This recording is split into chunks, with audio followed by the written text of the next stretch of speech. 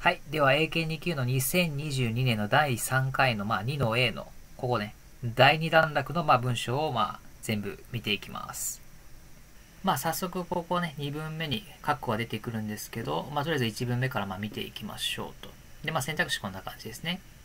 えーと、まあ、まずこの1文目ですけど、まあ、簡略化するとこういうことを言ってますと。Many people are moving west to find cheap land. まあ、多くの人々、これが主語ですね。が、were moving まあ、まあ、移動しましたと。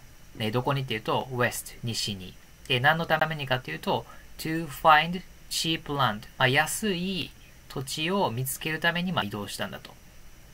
で、本文でこの many people が就職されててすごい長くなってます。many people in the eastern United States。アメリカの西ですね。西の方の人々が、まあ、すごい移動したと。えー、at that time その時に。っていう意味ですね。で、チャップマンは saw this as a ブラブラブラと。チャップマンっていうのは、えー、この出来事、このまあ人々が西に移動したという出来事を、まあ、as a 何々22として、まあ、見ました。そういうふうにまあ認識しましたっていうね、内容です。まあ、これを回答するために、えー、残りの文章もまあどんどんどん読んでいきますと。はい。で、最初の文章ですけど、えー、まあ、まずね、簡略化するとこの文章は、まあ、こういうことを言っています。He got free bucks from producers. まあ、彼は、えー、ゲットしましたと。何をっていうと、フリーバックス、まあ、無料のね、袋をもらいましたと。誰からっていうと、プロデューサー、まあ、生産者さんから、まあ、もらいましたってね、こういうことを言ってます。ここに今いろんな就職がついてますと。で、えー、まあ、就職ですね。なんとか、オブ、なんとか。これは日本語と英語ではね、順序が逆になるので、ちょっと要注意です。え、本文でちょっと2つね、出てきてます。え、まず、free bags of apple seeds。まあ、リンゴの種の、まあ、フリーバッグ。えー、producers of cider。サイダーの生産者さん。これ日本語とね、英語ちょっと逆になるので、お気をつけください。で、続いて、まあ、ここのカンマですね。まあ、ここのカンマは、一つ前のね、このサイダー、名詞を、まあ、説明するみたいな、そういう、まあ、使い方です。で、ちょっとまあ、本文抜粋するんですけど、まあ、この from producers of cider、えー、何々から、サイダーの生産者さんからっていう文章があって、ここにカンマがあるので、このサイダーっていうのは、この次の文と、まあ、イコールなんですね。イコール。このサイダーっていうのはどう、つまりどういうことかというと、an alcoholic drink made from apples。まあ、アルコールドリンクであると。えー、リンゴから作られるアルコールドリンクなんだよ、サイダーはっていうことを、まあ、言ってる。このイコールっていう意味のね、カンマです。で、あと、まあ、made from, made of ね。まあ、どっちも何々からできてるなんですけど、まあ、ちょっと細かく言うと、パッと見て原材料がわからない。つまり、まあ、原料が加工されているときには made from。えー、パッと見て原料がわかるときは made of をまあ使いますね。えー、まあ、ちょっとこちらでも詳しくやってるので、まあよ、よかったら見てみてください。で、あと、アルコホリックですね。えー、まあ、形容詞でアルコールの、例えばアルコホ、アルコホリックドリンク。まあ、アルコール飲料ですね。アルコールの飲み物である。形容詞もあるんですけど、名詞ですね。アルコール依存症っていう意味もあります。こっちの方がなんか強い気がしますけどね。アルコホリックって聞くと。依存症っていうね。He is an alcoholic で、まあ彼は、まあ、アルコール依存症だよって、そんな風に使います。で、まあ、本文初めからいくと、まあ、he got the free box。まあ、彼はフリー、えー、まあ、無料でね、袋をもらいましたと。で、何の袋かというと、of apple seeds。リンゴの種ですね。で、誰からもらったのかというと、from producers。生産者さんから。何の生産者かというと、サイダー。サイダーの生産者からもらったんだと。で、ここのカンマはイコールで、このサイダーですね。サイダーはどんなのかというと、アルコホリックドリンク。アルコール飲料であると。で、それは made from apples。まあ、リンゴから作られるアルコール飲料だよって、そんな意味です。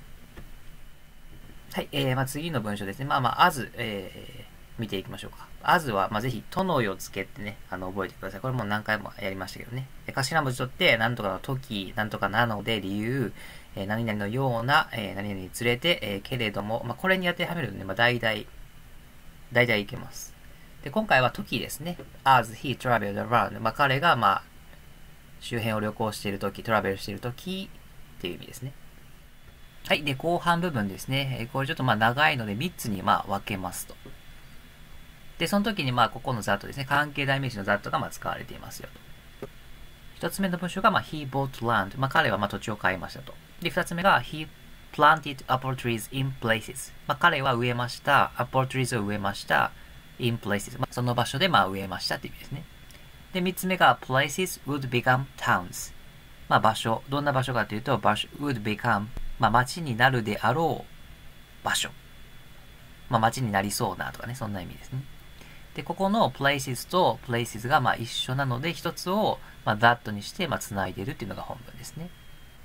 で、次、likely ですね。これまあよく見ますけど、まあなんとなくね、これありそうなとかなんとかしそうなっていう意味で訳しとくと、まあ問題ないかなと思います。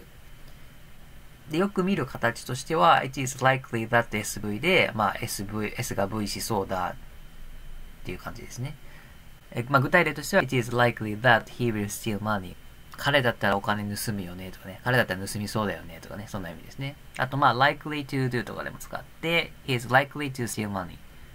まあ、彼、あまあ、彼だったらお金盗むよねとかね。彼だったら盗みそうだよねとかね。そん,、まあ、そんな感じです。で、まあ、本文初めからいきますと、as he travels around, まあ、彼が周辺を、まあ、トラベルしているとき、どうなのかというと、he bought land, まあ、彼は土地を買います。and そして、planted apple trees, apple trees を、まあ、植えます。in places. まあその場所でね。その場所場所で。で、この places っていうのはまあ that で説明してて、どんな place かっていうと、would likely become town. まあ街になりそうな、将来街になりそうなまあ場所っていうような意味です。はい。まあここの文章そんな難しくないと思いますね。まあまずこの would の、まあ、用法として一応過去の習慣っていう意味がありまして、まあ昔何とかしたとかね、そういった意味でまあ使いますと。で、本文ですけど、まあ、later 後で、えー、彼は he would return。彼はまあ、昔ね、よくまあ、帰りましたと。で、どこにかというと、these places。まあ、これの場所に帰りましたと。何のためにかというと、to check his apple trees。まあ、彼が植えたリンゴの木を、まあ、チェックするためにね。そして、それらを sell them。売るために、まあ、よく帰りましたっていう意味ですね。はい。えー、次の文章、ここですかね。関係代名詞の風で、まあ、二分が一文になってますと。で、その一つ目の文章が、He sold his land to people. まあ、彼は売りました。彼の土地を誰に ?to people. 人々にま売りましたと。で、まあ、二つ目の文章が、people wanted to settle there. まあ、まず単語ですね。この settle。えー、まあ、決定するとか定住するとかね、そういう意味があります。今回はまあ定住するという意味ですね。あとよく、まあ、settle down でよく見ますね。うんで、意味としては、えー、people は、人々は、えー、wanted to 何々したかった、えー、settle そこに、そこに定住したかったですね。で、ここの people と people が一緒なので、一つを、まあ、風にして、まあ、繋いでるっていうのが本文ですね。で、本文も見ていくと、えー、sometimes、まあ、時々、えー、he also、彼は、えー、sold、まあ、売りました。彼の土地を売りました。誰に ?to people。